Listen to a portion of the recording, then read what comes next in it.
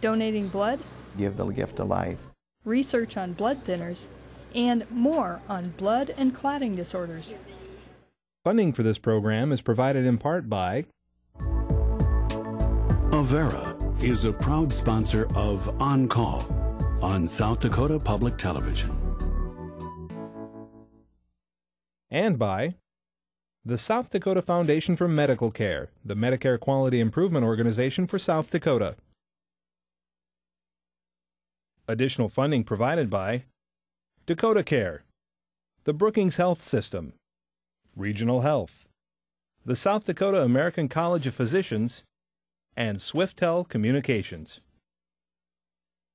Closed captioning for On Call is provided by the generous support of Avera, the Brookings Health System, and Fishback Financial Corporation.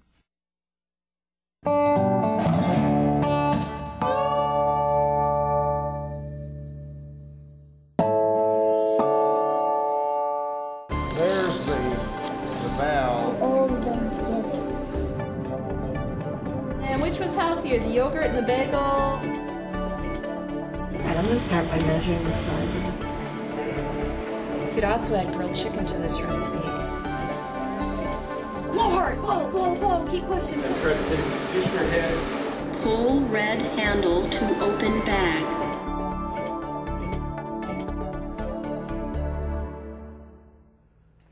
Hello and welcome to On Call. I'm Tammy Watson.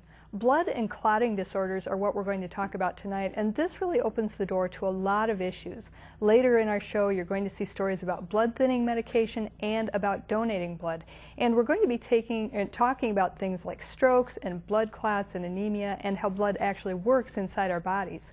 With me tonight in the studio, ready to lead us in this discussion, are Dr. Kamran Darabi and the on-call medical editor, Dr. Rick Holm. They're ready to answer your questions right now, so you can call in to our toll-free number. It's probably on the screen already. It's 1-888-DOCTOR-ON-CALL. Again, the phone number for questions about blood and clotting disorders is 1-888-376-6225. Helping to answer the phones tonight and take your questions are volunteers from the Brookings Health System. Now, Dr. Holm, before you introduce our guest, give us a snapshot of some of the things that, things that you think our viewers will learn about tonight. Well, how dangerous clotting can be, uh, what brings on clotting problems, a little bit about congenital or inherited clotting things. You know, we're talking about blood disorders and what uh, our guest uh, deals with on a daily basis. We're going to also have to talk about leukemias, different kinds of uh, lymphomas, uh, blood disorders of all kinds. and so there's just, you know, th- this is a people can ask very interesting topic. A lot of people are involved with these things. Why do we d- do blood testing? And uh, what do we learn from blood testing? We can go anywhere you want with All this right. So we look forward to your questions.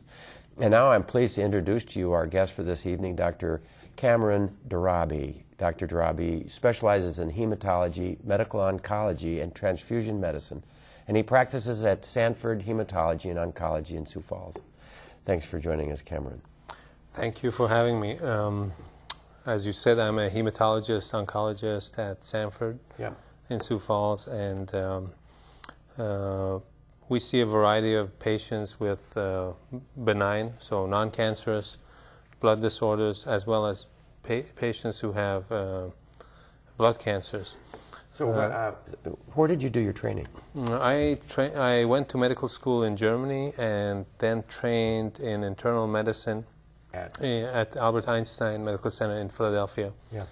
Then I did a hematology medical oncology fellowship uh, after my internal medicine training at New York Medical College in New York City, and I trained in transfusion medicine at Harvard University in Bo- Boston, Massachusetts. So, so uh, transfusion medicine is explain that a little bit to me. That's uh, uh, the specialty that deals with uh, obtaining blood products, um managing the blood product supply inside a big hospital like Sanford or Avera or uh, one of the big hospitals in Boston where I was training at the time. And um, also providing support for services such as bone marrow transplantation. Right. All right. Well, you know, we've got a wide variety of options for you. We'd love to have your calls. We'll talk more about it right after this. Blood clots can damage the body and lead to serious problems such as stroke, heart attack, kidney failure, deep vein thrombosis, and pulmonary embolism. I'm pretty sure that after tonight's show, it's going to be one where when the credits roll and the lights go down, we sit around on set and say, there's so much more we could have talked about. This is because how blood works in our bodies is such a fascinating and complex process. And one aspect of the process, as Dr. Holm already mentioned, is clotting. If your blood is unable to clot, you bleed and have serious problems. But if your blood clots in the wrong place at the wrong time, that's no good either. Thus, we have need for blood thinning medications. Warfarin is the generic name of what may be the most common blood thinner. You may know some of the brand names of this drug, Coumadin, Jantoven, Marfarin. Recently, a completely new type of blood thinning medication has been approved for use in the United States, and its brand name is Pradaxa. The drug's generic or chemical name is dabigatran. Regional Heart Doctors in Rapid City was involved in a large study that scrutinized the effectiveness of Pradaxa as compared to warfarin, and OnCall went to Rapid City to learn more about it. The RELY clinical drug study looked at the effectiveness of a new type of blood thinning medication and involved over 18,000 patients worldwide. Regional Heart Doctors in Rapid City, South Dakota was the fourth largest test site in America, and playing a key role in the study here was Dr. Jose Teixeira. purpose of the study is, uh, was to evaluate an alternative to a blood thinner that has been around for more than 50 years that's you know, known by name Coumadin or warfarin. And Coumadin warfarin is very effective in reducing the risk of strokes, but it's hard to manage uh, and interacts with a lot of medication. The research focused on individuals with atrial fibrillation, a type of abnormal heart rhythm that can put patients at greater risk for developing the blood clots that lead to strokes.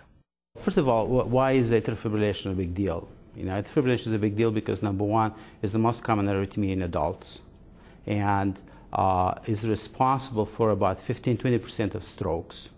The incidence of strokes can be reduced when patients take blood thinners like Coumadin and Pradaxa. According to Teixeira, simple things like diet and over-the-counter medications can impact how much Coumadin an AFib patient needs to ingest. But the new medication Pradaxa doesn't work the same way as Coumadin, so it doesn't require the same level of monitoring in patients. It has a very different mechanism. Coumadin or warfarin uh, inhibits the use of vitamin K uh, that's essential for the production of uh, uh coagulation factors. Uh, so, in fact, if you put Coumadin on a test tube with blood, it does nothing. It does not thin the blood. Um, as opposed to uh, the new uh, anticoagulant, the, the dabigatran or Pradaxa, has a direct uh, anticoagulant effect, direct thrombin inhibitor. So if you put it in a test tube with blood, it will thin the blood. Because Pradaxa actually thins the blood in a different manner than warfarin, figuring the dosage and monitoring the patients taking Pradaxa looks to be a lot simpler. And the RELY study also showed that the risk of bleeding inside the brain, which is a possible side effect of blood thinning medications, was less with Pradaxa.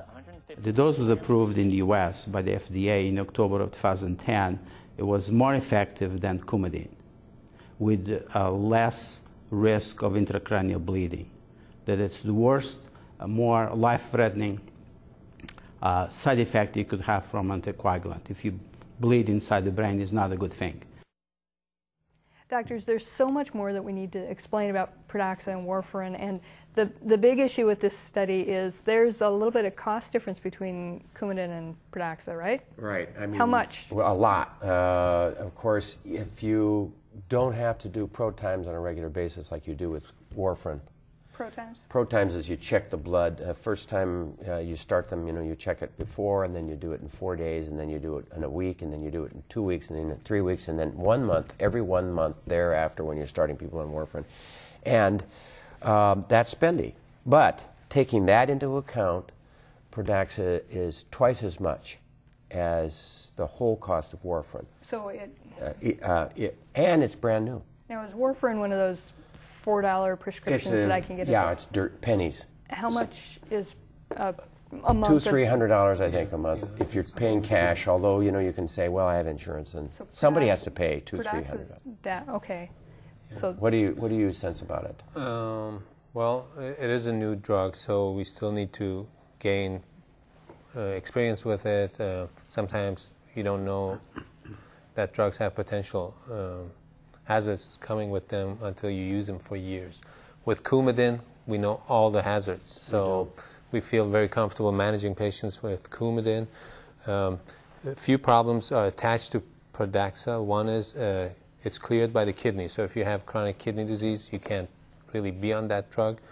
Um, there's no way to monitor it safely, so we have this blood test for for Coumadin, which has been around for decades. Uh, every laboratory can run the test, but no test to monitor you on Pradaxa. So you, you don't know how thin you are. with Right. it. I think everybody must be different. yeah, and all those patients on that study were healthy, fairly healthy people, and all the peoples in our practices uh, are usually uh, older patients who uh, don't fit the muster of these studies. So you have to be careful when you take data from studies and apply it to the real world, as with uh, any other treatment in medicine. And you don't know what the renal function of our elderly people are. I mean, they, when they that's why the estimate it, the kidney to- function is often uh, reduced as well. I will make this comment. Uh, thank goodness for pharmaceutical industry for doing research and the way that they can do research and bring new uh, medicines. So we, I, my cynical side of me needs to be held down a bit because we need to know new medicines, and there's a time for that. This is a medicine that may have a great benefit for many, but right now it's early, and it's expensive, and so it's not for everyone. So you're and not rushing out with I'm not rushing out. data. Uh, and are you? Are you using it much? Um, I use it in people who have good kidney function, they're young, uh, they uh, have trouble getting to the doctor to do an INR, the blood test we use to see how thin their blood is on Coumadin, uh, or people who, you know, just can't stand needles, they're willing to pay the extra cost. So, but they've got to have good kidney function, and uh, usually you have to have good insurance coverage Yeah. because it's expensive. Yeah. Okay. Now, uh, let's backtrack a little bit and just talk about blood and the what are the different parts of blood and some of the, the basics. School me in. Yeah, Kamran. What are the three basic groups, and then we can divide them. Yeah. So you know, to make it simple, really, think of blood as uh, a a river that's flowing with uh, the water in the river and uh, the rocks in the river and the fish in there. So there's all kinds of different things in the blood. Uh, the water is what you would refer to as plasma if you separated all the different parts of the blood. Uh, And it's the- thickened. I mean, plasma is sort of like egg white Yes, with mixed with yeah, water. It's yeah. kind of thickened, and it has it has an ability to bring fluid in and bring fluid out. And I mean, it carries all sorts of things. It has a pur- purpose. so that's one yeah. thing in blood that we don't count normally. Okay, what else? So uh, the the easiest way to separate blood components is really to take the blood and spin it. Uh, that's called centrifugation, and uh, you then separate uh, the cells from the plasma, and you can separate the cells further between the different uh, compartments of the cellular portion of the All right. blood. So, what kind of cells are within the cellular part? So the cell, cellular part, part has uh, platelets, uh, mononuclear cells, which uh, usually are mostly white blood cells, and uh, red blood cells. So platelets, mononuclear cells, uh, uh, white, uh, other white cells, and red cells. Yeah. What just- about uh, and what are the what are the red cells' primary function? so red blood cells are obviously what makes your blood red. So That's the uh, primary that's function. That's why that's, they call it that's red. the Yeah. most important uh, thing to remember Yeah. from tonight's uh, program. Uh, why are they red? Because they have a protein that carries oxygen. Uh, that's how you bring oxygen to all the tissues in your body, and that protein is called hemoglobin. Uh, hemoglobin um, uh, is inside the red blood cells, and uh, when the red blood cells get to the lung, they come in contact with oxygen from the air. The oxygen goes into the red blood cell and uh, uh, binds to hemoglobin. Then the red blood cell carries that all the way into your body. To every single cell in our ev- body. Exactly. You- And it dumps the oxygen. Yeah. I mean, they're sort of like a claw made with iron. Isn't Yeah. that right? Yeah. And the claw opens up and dumps the, uh, uh, the oxygen when the oxygen's low on this side. Mhm. So what about the, the, the monocytes? You were talking about mononuclear cells versus the, the other kinds of white cells. Yeah. So mononuclear uh, is just really a fancy word for cell with one core. So uh, all the cells that have a core in, uh, that is active and has DNA in it are called mononuclear cells. Red blood, the red, red blood cells, for example, don't have DNA. They were, they were produced in the bone marrow just for the purpose of carrying oxygen, and uh, they don't divide. They don't do anything else other than uh, carrying oxygen. months, and Yeah. then the spleen picks them up and dumps them. Yeah, and you know, and the bone marrow is constantly making new ones to replace the ones that are being uh, taken out of circulation because they went past their expiration date. The mononuclear cells, you are including all kinds of white cells.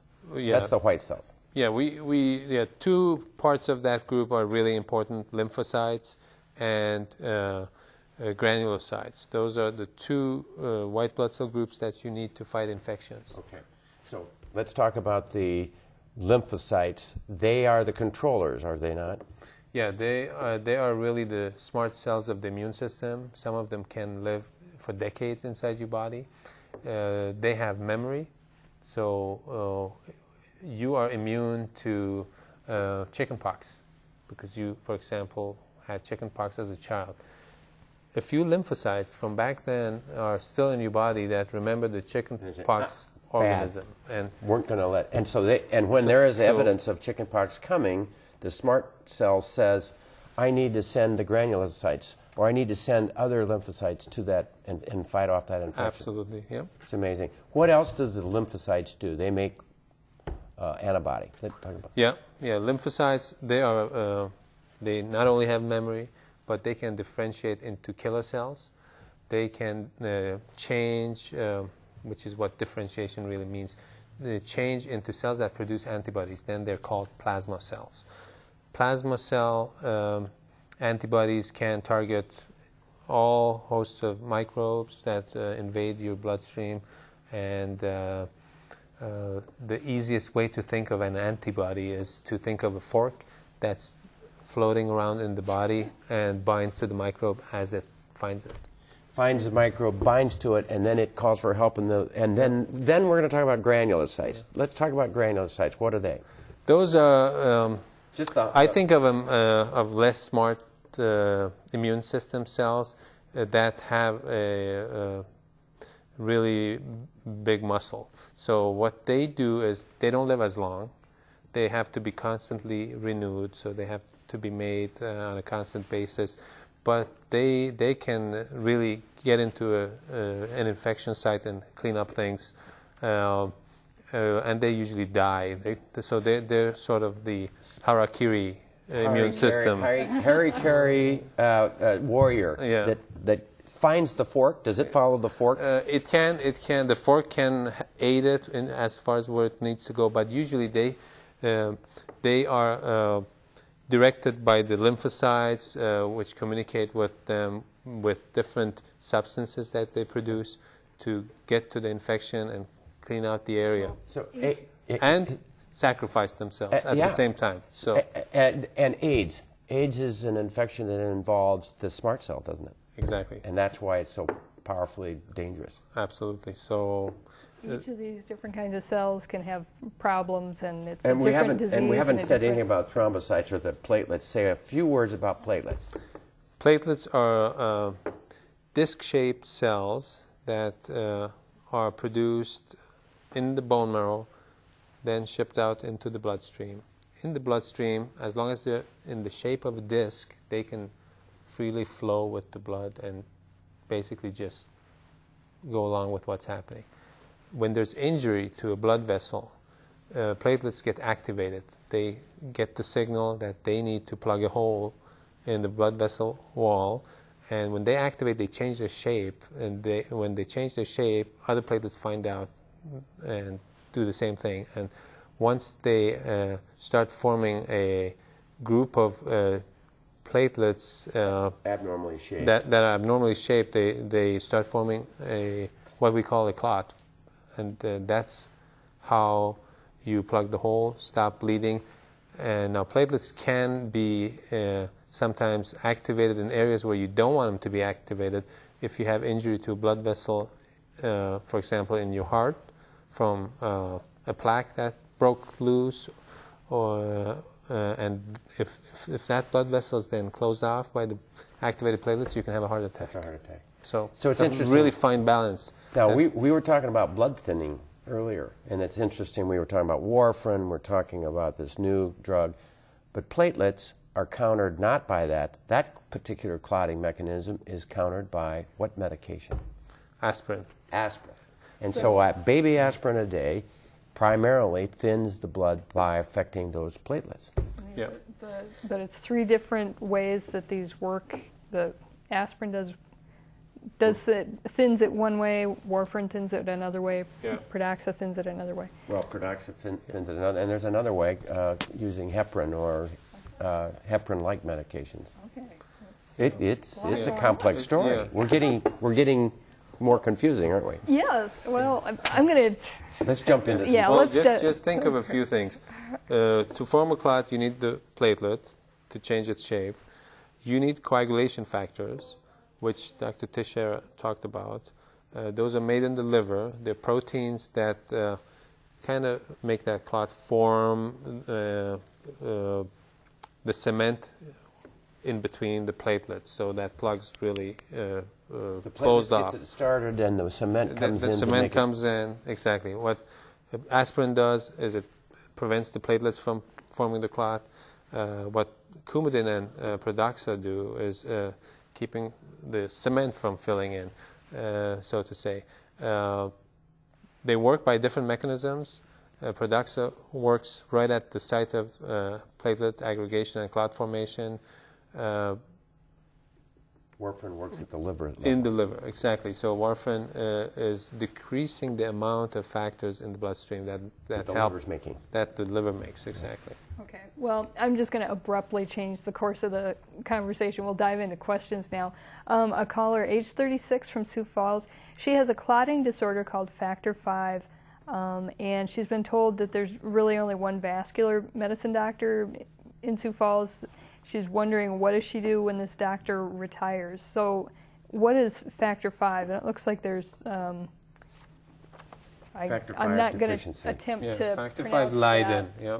So that's a mutation. What's a mutation? A mutation is a gene that's uh, been copied abnormally. Factor V is one of these factors produced in the liver that makes your blood thick, and you need to form that cement to plug the hole. Right. Okay. And, and it's an inherited abnormality as opposed to an acquired. So there's two types of blood clotting disorders that we need to address. But the one inherited is this factor V Leiden. Now, why would she have a problem?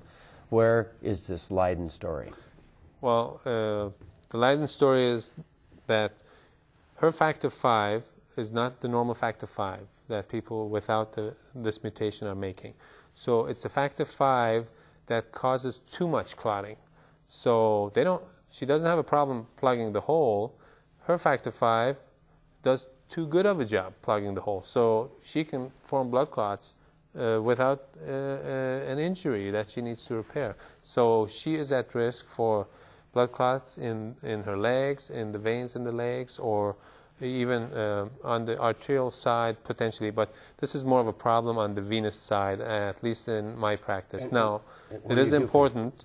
It is important to distinguish between people who have one mutation or two mutations. So you get two copies of this gene, one from your father, one from your mother. And uh, some people can have two abnormal copies, which is rare.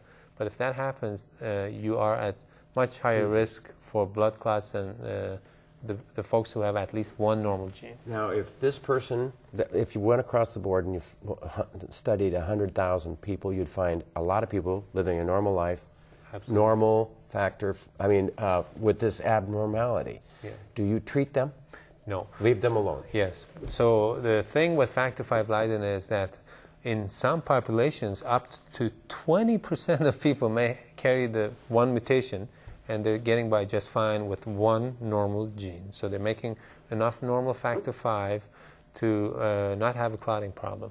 And the fact that it's so common is because uh, there was probably somebody in Northern Europe about 20,000 years ago who made the mistake of copying their factor V uh, uh, in the abnormal way, which happened to work out great for him because at the time people were more into fighting with the sword and bleeding was more of a problem than clotting. Gave them an so, advantage, So that survival person advantage, somehow did much better than all the other Yeah. guys. So passed his Passed genes to lots of offspring. Yeah. Now, my question is, uh, this person uh, obviously has a clotting abnormality because she's been discovered. She knows she's got it, and she's probably had blood clots to her legs and to her lungs, and now she is being treated with what medicine? Takes us back to uh, Coumadin. Right now, the only uh, approved treatment is Coumadin or warfarin. Uh, Pradaxa has not been approved for that indication yet, but the drug companies uh, Are working on it. making Pradaxa and similar compounds are working on it. Now, uh, Coumadin works well uh, if, pa- if patients uh, have factor V Leiden, if they have two abnormal genes, I usually recommend lifelong anticoagulation. But if they have one abnormal gene uh, uh, and they had one blood clot once, we, we try to take them off warfarin or Coumadin uh, if there was a good uh, reason for them having the clot at the time, which usually includes having been on oral contraception pills uh, because estrogens can increase your chance of having blood clots, Or preg- smoking, or pregnancy. Now, we have, bef- we've got to move on, but the gist of her question, she, when her doctor retires, who does she look to to Well, continue treatment? Like Kamran or others, there are, uh, you know, there are Looking for what five or six in? Sioux Falls. There so are she- other doctors in other towns. Yeah, yes. I mean, if you it. if you have factor V Leiden, uh, I think uh, you should at least see a hematologist once who's knowledgeable about the disease. Uh, it's important to distinguish between one or two abnormal genes. It's important to make sure you don't have any other clotting problems because there are other clotting di- uh, disorders that can coexist in this, these patients and uh, uh, increase their risk of blood clots in addition to having factor V But Leiden. most of these Well, come we- back to their gotta- primary care doctor eventually, we, anyway, have don't got they? to Yep. moving on here. We'll move Now, much of today's medical care depends on a steady and safe supply of blood, and that blood comes from volunteers, people who actually save lives by simply spending a fraction of their day donating blood. OnCall visited the Community Blood Bank Bloodmobile, which is based in Sioux Falls, South Dakota, during its recent trip to Brookings. We wanted to learn more about the importance of donating blood, and OnCall's Frederick Cohn has the story. In any given year, 4.5 million American lives are saved through blood transfusions. Ken Versteeg, Executive Director of the Community Blood Bank, explains the mission of the Bloodmobile. Our main mission is to, pli- to provide a safe and adequate blood supply to the communities that we service. We're kind of a co-op, and in the sense that um, the communities that we service, we come and do blood drives. We're in Brookings actually twice a month uh, doing blood drives, and when they come to um, to the blood bank or to the blood drive here in Brookings, they're basically um, providing blood to their own hospital. Um, everything that's donated here in Brookings comes back to Brookings and stays here in Brookings. There are a few restrictions on blood donation eligibility. Generally, donors just need to be healthy and of age. The process of donating blood takes around a half an hour and it includes a short screening interview required by the FDA. And after that, they receive a little mini physical, which is their blood pressure, their pulse, their temperature, and her hematocrit, which is their iron count. Uh, if they pass all that, then they're able to donate one pint of blood. Uh, and one pint of blood will actually save three people's lives. Because once we donate that pint of blood, once they donate that pint of blood, it goes back to the hospital and it's separated into platelets, plasma, and red blood cells. Those three components. And those three components will be transfused to three individuals in the hospital. Blood donors can offer this valuable gift on a regular basis. It's amazing, isn't it? Just rolling up your sleeve. It's a regenerated, uh, it's, it's regenerable for your body. I mean, you're able to replenish it. So you just, every 56 days, a person could save three lives. It's an amazing thing. And this time of year is an especially important season for potential donors to think about this amazing act. Usually we see a decrease of about 20%, um, which is significant, especially when we rely upon about 550 units of blood to be donated a week in order for us to maintain an adequate blood supply for the 29 hospitals. So um, we kind of reach a point where in the summertime we have to uh, encourage people and remind people continually that the need is there. The need is consistently there. And even though it's summer, um, we ask that you not take a vacation on donating blood. Take the time to give life. Take the time to roll up your sleeve in 20 minutes of your time and, and give the gift of life. A blood transfusion is a safe, common procedure in which blood is given to you through an intravenous or IV line in one of your blood vessels. Thank you for joining us tonight. We're talking about blood and clotting disorders, and here in the studio, ready to answer your questions, are Dr. Kamran Darabi and the on-call medical editor, Dr. Rick Holm. Our phone lines are open, and you can call in right now with your questions about tonight's topic. Our phone number is 1-888-376- 6225. Doctors, we've got a stack of questions here, but do you want to add anything else about blood, donating blood before we move on? Uh, they're down in the summer. It's time to donate. This should, should be the time that you should pick and say, okay, I'll donate, and summertime would be a good one. Uh, any other comment? You're the you're the guru on blood banking. Especially if you're Group O, make sure you're donating as much as you can because you are the universal donor. Anybody can be transfused Group O red blood cells, no matter what blood group they have. They could have A, B, or AB, and they can get the O. Whereas if you have A, the A could cause problems with the person who's a B, or the A could cause problems with the person who's an O. But if you're an O, you don't have, it's like you don't have the antigen that causes problems in this other group. Is that a good explanation? absolutely. And, and if you're O, you can only get O. So it's, uh, you're helping the other folks with blood group O.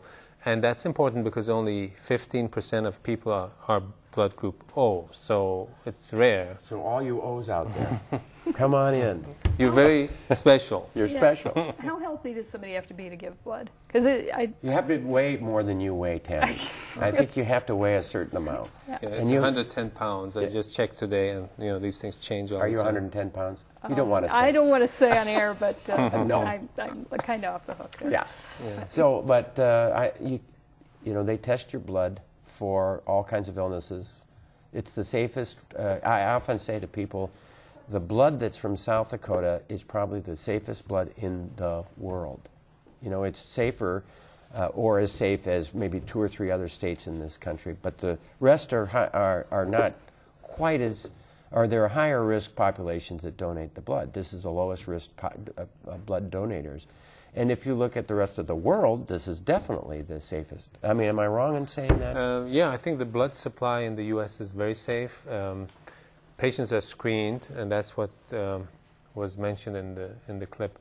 Uh, just the questions do a great job at screening out people who shouldn't be giving blood. Uh, aside from the questions, you have uh, sophisticated laboratory tests now that can uh, pick up infections such as HIV, hepatitis B, and C, and uh, the chance of getting HIV or hepatitis from a blood donation is really low. It's probably less, you know, there's probably one infection in every one to two or three million transfusions. So and those people receiving. Yeah, so you know, if we transfused maybe two million people, one person potentially could get an infection like that that's very, very low, and uh, it can only happen because people that person who donated the infected blood got infected just before they donated blood, so the test wasn't able to pick that up right. yet. Are there any risks to giving blood? There's no risks. I mean, you're not taking any blood. There's absolutely no risk. Give me the hard sell on why I should do it. Well, the reason you should do it is people need it. and, and it isn't going to hurt you, and it's going to help people. I mean, the, the That's pain of it is direct, your isn't it? fear. It's the fear is all that is, and let go of that fear and, and give to uh, the people who are in need. Would you say anything more, Kevin? Um, well, uh, I think healthy people can uh, uh, really look uh, at this as a way in giving back to the community, and uh, uh, it's certainly of no harm to them, uh, and uh, it, it, will be helping out, helping out a lot of people who need need their uh, blood product donation. You, you return your by uh, by a week. You have all your red cells back that your body comes back, and in within a you know six or eight hours, you've got all your volume back. I will say that I went jogging right after donating one, blood one time. My bottom was dragging on the ground. I I only ran three, not six, and I thought, whew, boy, what did, what was wrong? Oh. I forgot I But donated you blood felt good enough to go just get back go for a run. horse I mean, you know, but um, I could feel it. Okay. I went for a run though two days later, and I was fine. All right. Well, we better dive into the questions here. Uh, caller from Sioux Falls: Red spots under the skin looks like bruises. Sees them on old on an old person. Can anything be done about it? That could be a lot of things. Yeah, I have to answer this because this is really my area. I take care of all these older people, and I put many of them on aspirin a day because there's data about prevention of colon polyps, as well as uh, some data to say that it prevents strokes and heart attacks in asymptomatic people. But if you've had heart disease, or if you've had strokes, or you've had TIs, there's solid data on it. So I have a lot of people on aspirin. Well, what happens? They have bruises and easy bruisability. Well, what if I don't have them on aspirin? If you're older, you have easy bruisability and bruise marks, and it looks like they're, you know, they're dying and they've got terrible bruises and so on and so forth. And if you, I check them, then their white counts normal, their platelets are normal, their their hematocrit and hemoglobin are normal, and there's no problem. It's just part of getting older. So, for the most part, you know, if you're seeing your doctor on a regular basis and you're on an aspirin, it's very common. And you know, it might be worth one check to make sure that your blood parts are normal. Would, you add to that? Yeah, yeah. I mean, you you could uh, you could have uh, platelets not working right, not enough of them. Blood could be too thin. We talked about all the issues about blood too thick. Now, if you're too thin, you could bruise easily.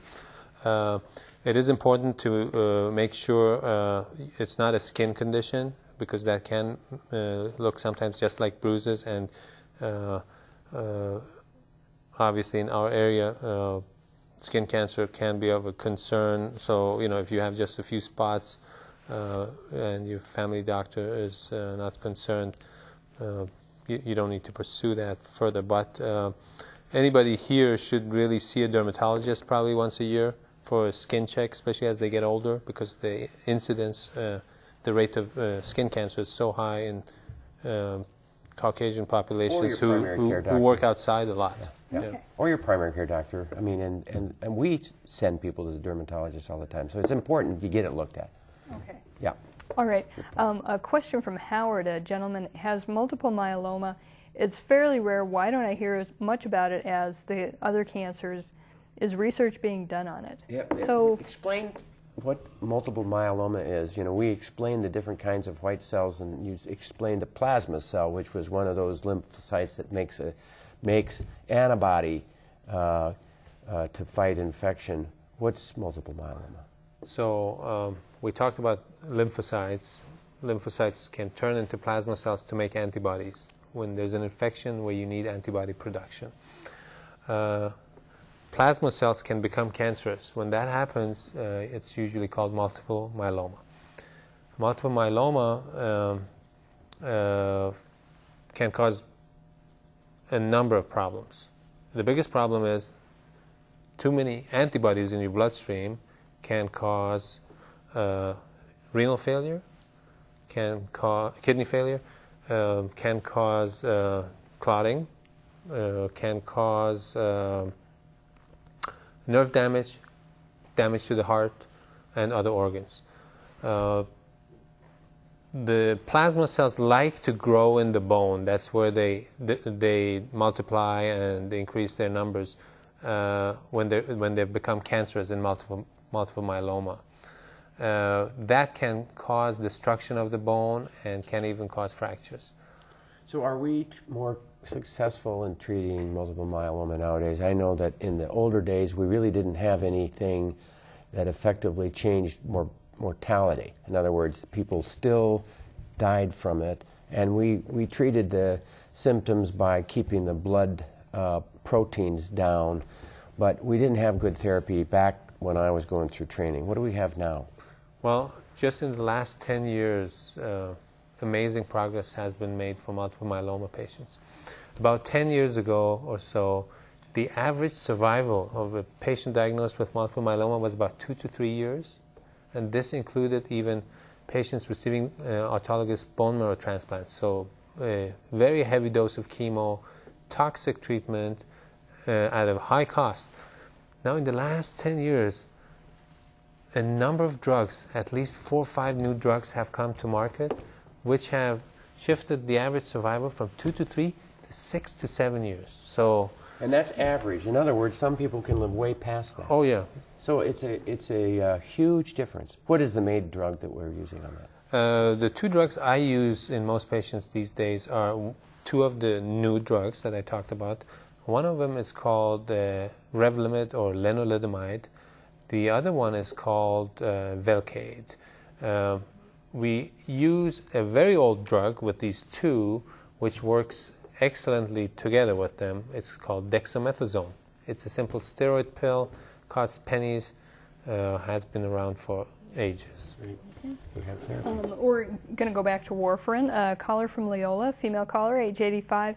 Um, her, she's on warfarin. Her dosage it's a 10, cut in half. She takes a blue one, and uh, blue one warfarin, four milligram. Take one every day. Um, can she take aspirin instead? I think is the gist of this. Are you, uh, you know, here's my answer. Is, her, is her dose too much? I, I missed the diagnosis, sorry. We don't have the diagnosis. Oh, She's okay. on warfarin for some reason or other. Can she take aspirin? And it depends upon the diagnosis. You're shaking your head. Yeah, it depends. So it's very important to get the message out that aspirin does not protect you uh, against venous blood clots. Okay, what? Blood What clots clots in blood your clots are uh, that that aspirin works are in the arteries. So, for example, a heart attack is in the arteries. That's sending blood out to the cells. When the blood is coming back to the heart to to get reoxygenated, that's venous system. The bl- veins in the legs or the big varicose veins. That's coming back. That that's where aspirin doesn't work, and that's where Coumadin's needed. And that's the kind of problem that people have who are on Coumadin is big clots in their legs and oftentimes clots that can occur within the wall, uh, within the heart, not in the arteries of the heart, and uh, can flip to the lungs. So, so we, there are two points you need to be made. One is that you don't dump the warfarin and just take aspirin. Um, can you take aspirin and warfarin together if you have coronary artery disease and you have blood clots to the leg? Yeah, there are some uh, high risk patients that are taking both. Uh, obviously, your risk of having a significant bleed is much higher when you're on aspirin and Coumadin. So, your Coumadin uh, has to be monitored really closely. You have to be aware of the foods that interact with Coumadin. So let's talk about the Yeah, foods yeah, that that's interact with Coumadin. So the way Coumadin works is it's a, an inhibitor of vitamin K uh, carboxylation. What, what, what that really means is vitamin K is coming in through the diet. Coumadin blocks your liver from producing the coagulation factors that need vitamin K in their structure to function properly. So the lack of those factors makes your blood thin. So, what kind of uh, things in your diet, which will adjust this uh, vitamin K, has a lot of K or no K?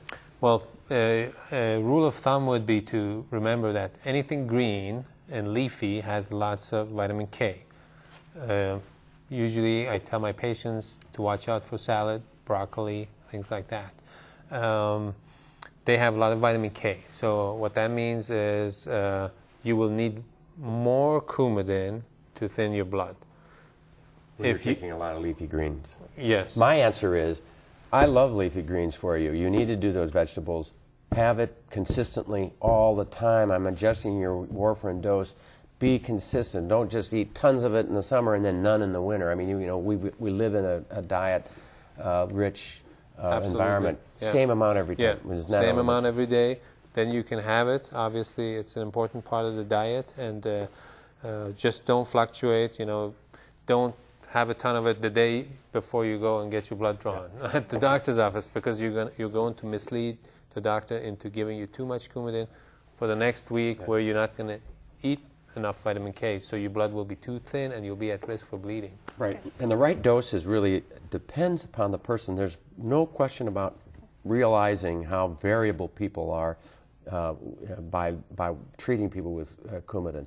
I've had little ladies who are tiny little wisps of people, kind of like you, Tammy, who take 10 milligrams of Coumadin every day, and then I've had big, robust men who take two and a half or five, you know, every day or lower. I mean, you know, it's it's uh, it's it's a variable deal, and it can vary in the season, even though they're trying to be consistent with their diet. So it's you've got you're, you just have to continue to monitor. You just can't get a dose and then forget the doctor. You need to check every four to six weeks, max six weeks. Okay. Um, hopefully you can answer this question with a yes or a no. Caller from Spe- Spearfish, 66-year-old female. If I've had shingles, can I give blood? I don't think that's an exclusion at this time. How about, Uh, uh, obviously, you don't want to donate it when you have active zoster. Yeah, wait until Um, you're well, and then you can. Yeah, have yeah. So What about uh, a, a tattoo? Uh, I think in the past that used to be an issue, but uh, I'm not aware of that being a problem right now. Obviously, the concern there is that uh, somebody who had a tattoo may be at a slightly higher risk for bloodborne infection like hepatitis. or AIDS. But I don't think that's a problem right now. Uh, you will get your blood will get screened for HIV or hepatitis anyway. So I personally don't. Uh, I'm not aware of that being an issue right now. Uh, and when I uh, emailed our blood bank director uh, a couple of days ago, uh, I, I she didn't email me Anything, anything about, about tattoos. tattoos. I thought there was a, like, if you've had a tattoo, you got to wait six months or a year or something before you can get a. Yeah, there, there could be a rule like that in place. I, uh, I have to I have to double check on that. I'm not sure. Okay. A question from Huron. Uh, male, oh, we're going to have to be quick on this. Lipoprotein A causes strokes and heart attacks. He is, um, uh, it's talking about, uh, he's got some ne- numeral measurements here. He's 149, daughter is 115. Um, Uh, listen, let me let me quickly say this. That's one of the lipid studies that people are, are glomming onto and saying this is an important indicator for heart disease, and that you can adjust these by taking lipid-lowering drugs. My personal bias is there's a lot of doctors who feel otherwise, but I, I will give you my bias. The data is not in yet. The science that says that a person who's not had a heart attack even though we know these are indicators of higher risk, slightly higher risk, or somewhat higher risk of heart disease, we don't have data to say that lowering them changes things or raising them changes things. We just know they're indicators. Uh, it's uh, the same as cholesterol.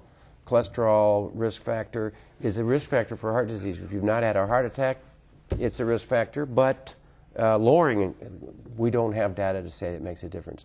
So we're at the end of our yeah, time, and we need you to. got say- any final words of wisdom? Uh, Yeah, take-home messages. Well, take. I think there's two take-home messages. Um, uh, if you are on Coumadin, learn about the diet uh, requirements that you need to be aware of. Um, uh, know that there's new drugs coming to market that could be uh, uh, potential treatment for you if you've had trouble on Coumadin. Uh, and uh, I think uh, uh, the other message would be that uh, aspirin aspirin is important in treating heart disease and strokes, but uh, Be careful with uh, yeah, be careful if you're on both, and uh, make sure you monitor it frequently uh, as far as your INR goes, which is the blood test for Coumadin monitoring. And my take is thanks for joining us, and don't forget to exercise out there, people. Thanks, doctors. Hang on. We will be right back after the break with the homespun perspective and then what's new in medical science. Looking for reliable healthcare information online?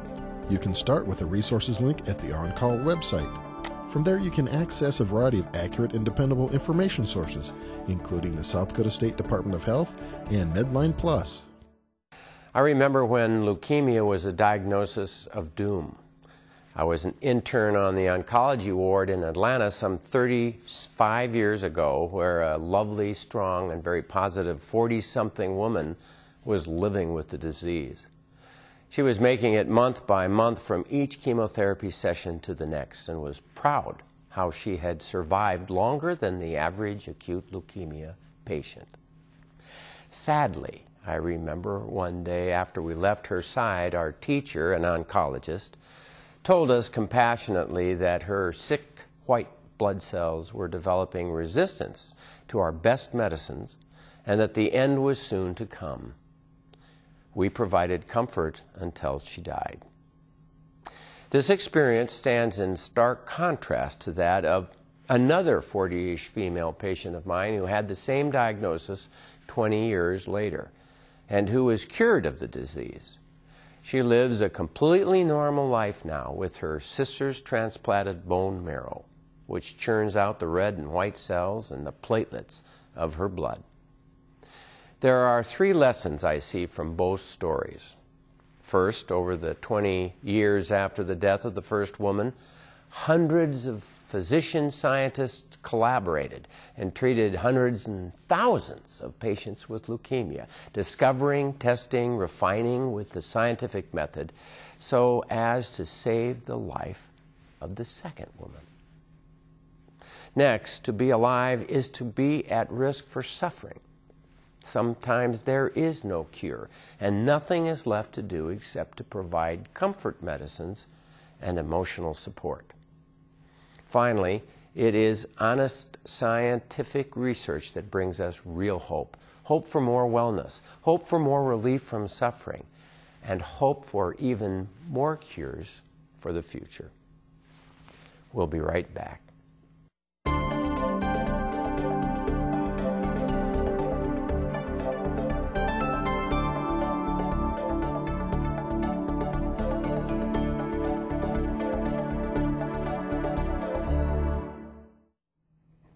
Before we get to our medical science, a real quick question Dr. Holm wanted to respond to. Can you give Right hand doesn't work right, has been, not been to the doctor, uh, I'm having pain.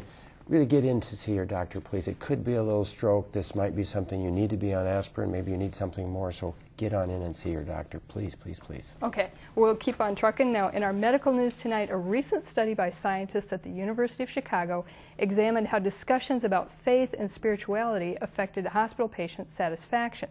Data was collected between January of 2006 and June of 2009, and over 3,000 patients were involved.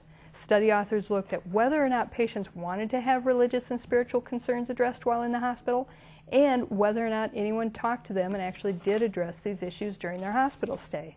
What the authors found out is that 41% of the patients involved in this study wanted to discuss religious or spiritual concerns, and 32% of the patients in this study said these discussions did occur.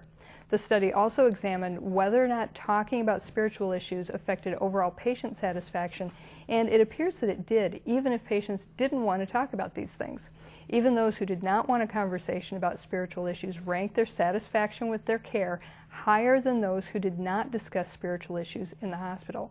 And in other news, caring.com is a commercial website that provides information for caregivers.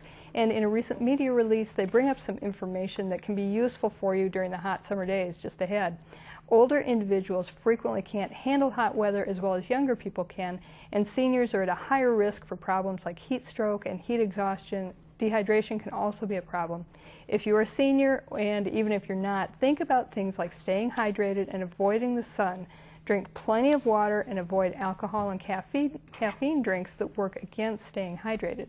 Limit the time you spend in direct sunlight and wear a hat and sunscreen when you need to go out. And importantly, know how to use the air conditioner and electric fans. If this coming weekend is anything like last weekend, it's not time to be stingy with your air cooling budget. Don't overdress. Sometimes seniors can't tell if they're too hot and they wear long pants and layers out of habit. And perhaps most importantly, keep an eye out for each other. Visit or check on elders that might need help during the heat. And if you do all that, we will be sure to visit with you again next week. So to wrap up tonight, a reminder we'll rebroadcast on SDPB Digital Channel 2 Mondays at 11 a.m. Central and Wednesdays at 4 p.m. Central. Once more, I'd like to thank our guest, Dr. Kamran Darabi, and the on-call medical editor, Dr. Rick Holm. Thanks to our phone volunteers, and thanks to you for watching and calling in. Have a good evening.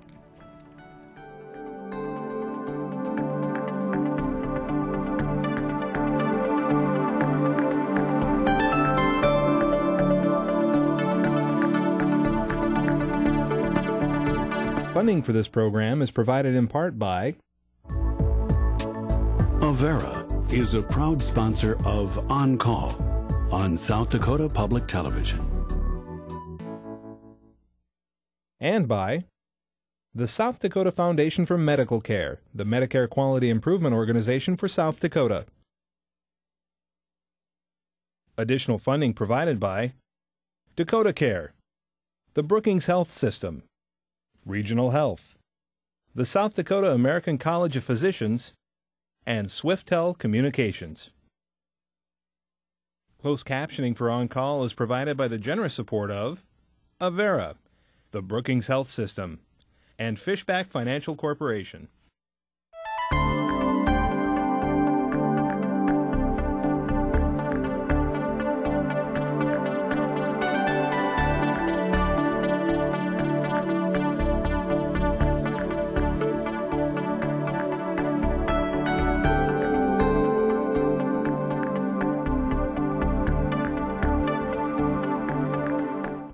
To learn more about life and health, you can order your copy of The Picture of Health, a beautiful book containing insightful essays and evocative images by on-call medical editor Dr. Rick Holm and Dr. Judith Peterson. This book, containing healthcare advice, stories of medical history, and meditations on healing, can now be yours for $17 at the South Dakota Ag Heritage Museum. Call 1-877-227-0015 to order. This offer is made by Ag Bio Communications at South Dakota State University.